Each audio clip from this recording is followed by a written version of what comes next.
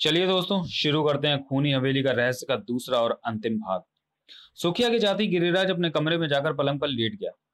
वह पागल बुढ़िया, क्या वह वास्तव में पागल है या फिर कोई और चक्कर है? आधी रात के बाद एक ज़बरदस्त चीख ने उसकी नींद तोड़ दी। अरे सुखिया की चीख, उसकी जान खतरे में लगती है। लेकिन इससे पहले कि वह दरवाज़ा खोलकर अंदर घुसता, एक व्यक्ति उससे आ टकराया। ओह! गिरिराज उसे देखकर बुरी तरह चौंका। तो तुम कातिल, अब नहीं बचोगे। पंजे वाले व्यक्ति ने एकाएक अपने सिर को टक्कर, अपने सिर की टक्कर देकर गिरिराज के चेहरे पर जड़ दी। ठाक! और खुद को उसके पंजे से मुक्त कराकर एक ओर को भागा। गिरिराज रिवॉल्वर निकालकर उसके पीछे पीछे भागा। रुक जाओ, वरना गोली मार दूँगा। मगर जब वह नहीं रुका तो गिरिराज ने फायर कर दिया। ठाए मगर गोली उसका कुछ न बिगाड़ सकी थी। वह एक मोड़ पर घूम चुका था और जब गिरिराज वहाँ पहुँचा, अरे कहाँ गया? अब उसने आसपास का पूरा इलाका छान मारा, किंतु कातिल उसे कहीं दिखाई नहीं दिया। उफ, उसे ज़मीन खा गई या आसमान निकल गया? खैर, सुखिया की खबर लेता हूँ। इतने में हवेली के पहरे पर तैनात सिपाही दौड़े चले आए। क्या हुआ? वह फायर किसने किया? मैंने, किंतु कातिल बचकर निकल भागा। ओह, अब तुम जाओ, तुम्हारी ज़रूरत हुई तो बुला लूँगा। फिर गिरिराज सुखिया के कमरे में पहुँचा। क्या, पकड़ा गया मालिक? नहीं, लेकिन उसने तुम पर हमला क्यों किया? मैं क्या जानू छोटे मालिक? वह तो मुझे मार ही डालता। किंतु तभी आपके कदमों की आवाज़ सुनकर वह भाग निकला। कब तक बसता रहेगा? वह एक न एक दिन तो उसे कानून की चाल में फंसना ही होगा। मगर वह अंदर आया कैसे? क्या तुमने दरवाज़ा अंदर से बंद नहीं किया था? किया था, शायद वह पहले से ही कमरे में छिपा हुआ था। ओह। हम्म मगर अब तुम सावधान रहना। ठीक है छोटे मालिक। फिर गिरिराज अपने कमरे में आ गया। कहीं इन सब घटनाओं में सुखिया का तो हाथ नहीं है? नहीं नहीं, वह ऐसा नहीं कर सकता। मुझे उस पर शक नहीं करना चाहिए। और उस रात कोई घटना नहीं घटी। सुबह उसे इंस्पेक्टर रमन ने आकर उठाया। हेलो गिरिराज, सुखिया बता रहा था कि रात कातिल से आप, आपका टकराव हुआ? हाँ किंतु वह भाग निकला। मैं आपको बताने आया था कि अभी पोस्टमार्टम नहीं हो पाया, शायद दो दिन दो तीन दिन लग जाएँ। कोई बात नहीं इंस्पेक्टर, तब तक मैं यहीं रहूँगा। जैसी तुम्हारी मर्ज़ी। मगर कल मैं तुमसे कुछ पूछना चाहता था। गिरी तुमने समय ही नहीं दिया। क्या आज बताओगे कि ट्रेन में डिटेक्टिव विशाल से तुम्हारी क्या बातचीत हुई? माफ़ करना इंस्पेक्टर साहब। विशाल साहब ने कुछ भी बताने से इनकार किया था। आपसे मिलने पर ही वे आपको सारी बातें बता देंगे। मगर उन्हें तो कल शाम को शाम ही आ जाना था। इससे, इसमें मैं क्या कह सकता हूँ? अच्छा तो तुम मुझे इजाज़त दो। अच्छा तो आप मुझे इजाज़त दो। इंस्पेक्टर रमन ने जैसे ही दरवाज़ा खोला तो तुम चाय लाया था, आप जा रहे हैं? यह सुखिया कहीं दरवाजे पर खड़ा हमारी बातें तो नहीं सुन रहा था। अब चाय पीकर ही जाना। चाय रखकर सुखिया वहाँ से चला गया। सुखिया कब से काम कर रहा है हवेली में? करीब पच्चीस वर्षों से। कहीं तुम उस पर तो कहीं तुम उसी पर तो हत्यारा होने का शक नहीं कर रहे? हमारा काम ही हर पर एक, हर एक पर शक करना है, मिस्टर गिरिराज। ज़रूरत पड़ने पर तो हम पुलिस वाले अपने बाप को भी शक की निगाहों से देखते हैं। अरे हाँ इंस्पेक्टर साहब उस पागल बुढ़िया के विषय में जानने की बड़ी उत्सुकता है मेरी। वह कौन है, ये तो कोई नहीं जानता। लेकिन पिछले छह महीनों ने उसे गाँव के, छह महीनों से उसे गाँव के पुराने खंडर में रहते देख रहा हूँ। सुना है उसका एक जवान लड़का था जो कुछ माह पहले घर छोड़कर कहीं चला गया था। उसी के गम में पागल उसे ढूंढती भटकती हुई बुढ़िया यहाँ आकर रहने लगी। पर वो यहाँ, यहीं क्यों आई? क्या उसे पता था कि उसका लड़का भागकर इसी गाँव में आए? यह मात्र संयोग हो सकता है। अच्छा अब काफ़ी समय हो गया, मुझे चलना चाहिए। ओके, सुखिया। साहब को बाहर तक छोड़ा। बहुत अच्छा छोटे मालिक। फिर गिरिराज भी तैयार होकर बाहर निकल आया। आप कहीं जा रहे हैं, छोटे मालिक? हाँ सुखिया। खाली हवेली काटने को दौड़ती है। गाँव का एक चक्कर लगा लूँगा तो समय आसानी से कट जाएगा। तुम भी सावधान रहना। हवेली से पुराने खंडर तक अधिक, हवेली से पुराने खंडर अधिक दूर नहीं थे। न जाने कि वो बुढ़िया मुझे रहस्यमय सी लगी। कहीं ये सब कत्ल? नहीं नहीं। बुढ़िया में इतनी हिम्मत तो नहीं दिखती। आज उससे मिलकर ही कुछ पूछ कर देखता हूँ।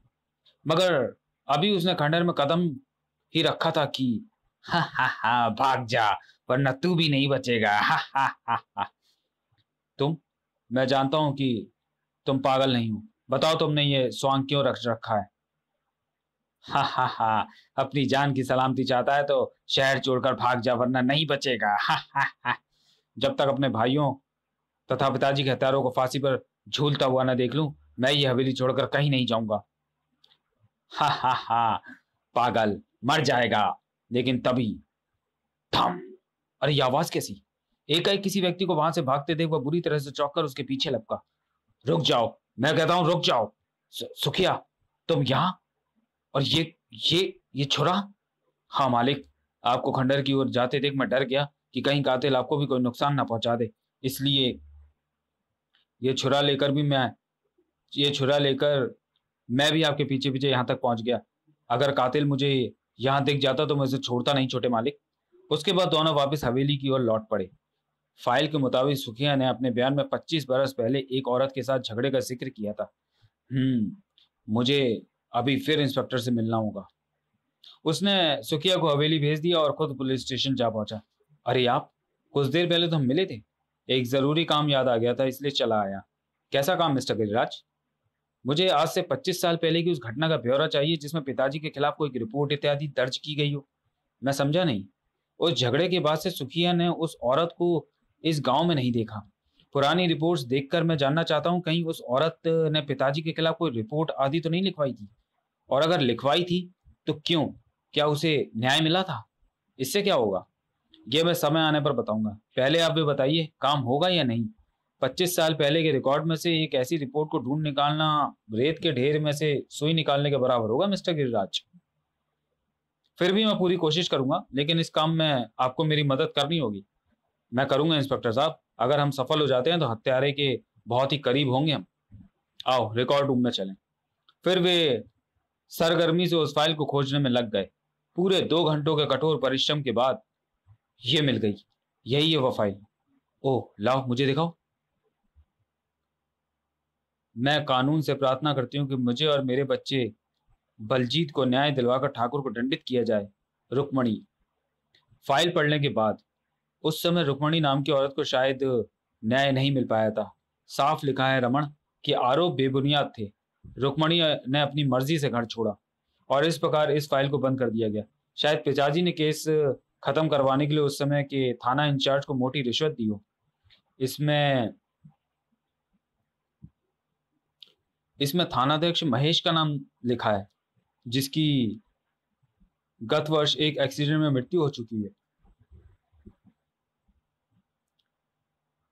लेकिन आपने कहा था अगर फ़ाइल मिल गई तो क्या हत्यारे को तो पहचान चुके हो? ओह, शायद आपका नाम जान चुका हूँ मैं, पर आपको अभी इंतज़ार कर, शायद उसका नाम जान चुका हूँ मैं, पर आपको अभी इंतज़ार करना पड़ेगा। लेकिन, अगर कातिल ने आपको कोई नुकसान पहुँचा दिया तो क्या होगा? आपको मुझे कातिल का नाम बता देना चाहिए। उसी रात, आज रात मुझे सतर्क रहना होगा। गिरिराज का अनुमान बिल्कुल ठीक था। एक भयानक आदमी सोई वो गिरिराज के पास पहुंचकर पहुँचा और झपट कर उसका गला दबाने लगा। मगर गिरिराज के जिसमें कोई हरकत नहीं हुई, यह देखकर वह भयानक व्यक्ति बुरी तरह चौंक पड़ा। लेकिन हकीकत ये थी, ठीक उसी पल। तुम्हारा खेल खत्म हो गया, प्यारे। तुम्हारा ये तमचा मेरा, तमंचा मेरा कुछ नहीं बिगाड़ सकता, गिरिराज। अगले पल उसके हाथ में पकड़ा पुतला गिरिराज पर उछाल दिया। हा हा हा हा। उफ, इसी के साथ उस भयानक व्यक्ति ने वहाँ से भागना चाहा, मगर इतनी आसानी तो तुम नहीं भाग सकते, बलजीत। फिर गिरिराज पर टूट पड़ा, दम खड़ा गिरिराज ने सर की टक्कर का वार किया ई लेकिन जल्दी वो भयानक शकल सूरत वाला इंसान संभल गया और मौका देखकर वो पुनः भाग, भागा, परंतु गिरिराज ने अड़ंगी लगा दी। ओह उसके बाद गिरिराज ने उसे संभलने का कोई अवसर नहीं दिया। शीघ्र ही वह बेदम हो गया।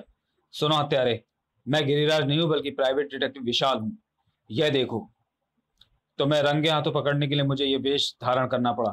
अन्यथा तुम गिरिज का गिरिराज का भी खून करने में सफल हो जाते। तभी बाहर कदमों की आठ सुनाई थी और साथ ही सुखिया की आवाज़ भी, छोटे मालिक, दरवाज़ा खोलिए, छोटे मालिक। विशाल ने आगे बढ़कर दरवाज़ा खोल दिया। ओह, ये सब क्या है? कौन हो तुम? और छोटे मालिक कहाँ हैं? तुम्हारे छोटे मालिक ठीक है, सुखिया। मैं जासूस विशाल हूँ और ये रहा तुम्हारे मालिकों का हत्यारा। क्या? तुम तुरंत इंस्पेक्टर रमन और बाहर पहरे पर खड़े सिपाहियों को भेज दो। आधे घंटे बाद पुलिस फोर्स उस हवेली को चारों ओर से घेर चुकी थी। फिर जब इंस्पेक्टर रमन हवेली के भीतर पहुँचा तो मारे हैरत के उछल पड़ा। तुम? Yes, inspector. कातिल को पकड़ने का यही तरीका था। मनी मन विशाल की प्रशंसा करने के बाद इंस्पेक्टर रमन कातिल से मुखातिब हुआ। हाँ तो बताओ तुम कौन हो? और ठाकुर परिवार से तुम्हारी क्या दुश्मनी थी? सुनो तो मैं शायद सुनकर हैरानी हूँ कि बलजीत ठाकुर की पहली पत्नी रुक्मणी का पुत्र है। क्या? वही रुक्मणी जिसे शायद आज से पच्चीस साल पहले ठाकुर ने ठुकरा दिया था? हाँ और जानते हो रुक्मणी कौन है? जी हाँ वही पागल बुढ़िया। खबरदार जो मेरी माँ को पागल कहा। नहीं कहेंगे लेकिन जब सारी कहानी हम तुम्हारे मुँह से सुनना लेकिन अब सारी कहानी हम तुम्हारे मुँह से सुनना चाहेंगे। अब तक बलजीत समझ चुका था कि कुछ भी छिपाना बेकार है। अतः उसने कहना शुरू किया। मेरे जन्म लेने से पहले ठाकुर साहब माँ को बहुत चाहते थे, पर दुर्भाग्य से जब मैं पैदा हुआ, मेरे कुरूप सूरत को देखकर ठाकुर साहब को मुझसे नफरत हो गई। मैं इस बच्चे को हरगिज नहीं अपना अपना सकता। हम पर दया कीजिए ठाकुर साहब, कुछ भी हो, ये हमारी औलाद है। ऐसी औलाद से बेऔलाद रहना ही अच्छा। इसे हमें तो ठकराएँ, हम इसे किसी कूड़े के ढेर पर फेंक आएँगे। नहीं, मैं इसे अपने से अलग नहीं होने दूँगी। अगर तुम्हारी यही अच्छा है तो कान खोलकर सुन लो ठकराएँ। इस घर में या तो ये बच्चा रहेगा, या हम। ठाकुर साहब, अगर आपकी यही अच्छा है ठाकुर साहब तो एक बात आप भी सुन लीजिए। मैं इस बच्चे के लिए कानून का दरवाज़ा खटखटाऊँगी। कानून के हर दरवाजे की चाबी हमारी तिजोरी में है, बेवकूफ़। हम जब चाहें तुम्हारे लिए कानून के दरवाजे बंद करा सकते हैं, और अब हम तुम्हारी सूरत भी नहीं देखना चाहते। चली जाओ इस मनुष्य के साथ, इस हवेली को, हवेली की हदों से दूर। फिर क्या हुआ? वही जो ठाकुर साहब ने कहा था, माँ की ओर से दायर मुकदमा झूठे गवाहों की गवाहियों और माँ पर बदचलनी का आरोप लगाकर बंद करवा दिया गया। मेरी माँ मुझे गोद में उठाए दर दर भटकती रही। बचपन से जवान होने तक मैंने कभी माँ के होठों पर मुस्कुराहट नहीं देखी। और फिर एक दिन मैंने अपनी कसम देकर माँ के दिल का दुख जान ही लिया। उस दिन से मेरे दिल में ठाकुर खानदान से भयानक प्रतिशोध की ज्वाला सुलग उठी। मैं घर से भागकर यहाँ आ गया। माँ नहीं चाहती थी कि मैं ऐसा करूँ। अतः वो पगलाई सी मेरे पीछे यहाँ तक आ गई। तब मैंने उन्हें समझा तो लिया मगर माँ का दिमागी संतुलन बिगड़ गया और वे पागल सी बनी सड़कों पर घूमने लगी। रात को रास्तों में पड़ी अपनी माँ को मैं खंडर में उठा लाता था। माँ ने मुझे इस हवेली के भीतर बने गुप्त रास्तों के बारे में बताया था। मैं हत्या करके इन्हीं रास्तों से खंडर की ओर भाग निकलता था। पुलिस को गुमराह करने के लिए मैंने इन पंजों का इस्तेमाल किया। तुम्हारी माँ अब खंडर में ही होगी। हाँ। खंडर पहुँचते ही। नहीं। ओ माँ, तुमने ये क्या किया? बुढ़िया के हाथ में कोई पर्चा दबा था। विशाल ने उसे खोलकर पढ़ना शुरू किया। मेरे बेटे, मैं तो उसी दिन मर गई थी, जब ठाकुर साहब ने मुझे वह तुझे ठुकराया था। दूसरी बार अब ठाकुर साहब की हत्या कर दी।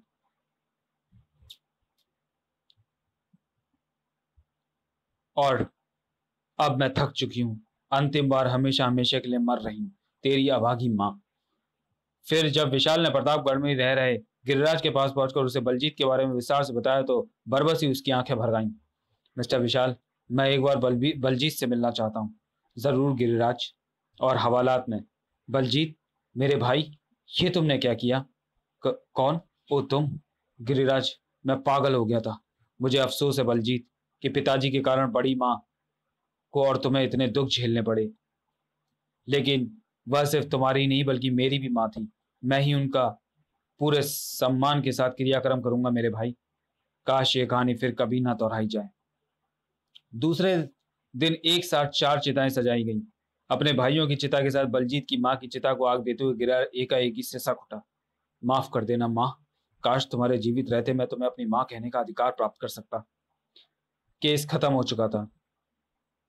अतः, अब मुझे भी चलने की इजाज़त दो, मिस्टर रमन चले जाना, गाड़ी आने में पूरे बीस मिनट है। लेकिन एक बात तो तुमने बताई नहीं कि तुम्हें बलजीत के हत्यारा होने का शक कैसे हुआ? विशाल ने बताया। जब तुमने मुझे उस पगली बुढ़िया के बारे में बताया था, बताया, जो अपने बेटे की तलाश करते हुए यहीं आकर बस गई तो एकाएक ही बुढ़िया मुझे रहस्य में लगने लगी। फिर तुम्हारी फ़ाइल में उसका जवानी का फ़ोटो देखकर मैं चौंक पड़ा और उसका हवेली के इर्द गिर्द घूमना, ठाकुर द्वारा उसे ठुकराया जाना, फिर दूसरी शादी कर लेना, इत्यादि बातों ने मेरे शक की पुष्टि कर दी और बलजीत हत्यारे के रूप में मेरे सामने आ खड़ा हुआ। समाप्त। तो चलिए दोस्तों, वीडियो को यहीं समाप्त करते हैं और मिलते हैं थ्रिलर और सस्पेंस सीरीज़ की अगली कॉमिक्स कब्रिस्तान के भूत में। तब तक के लिए धन्यवाद।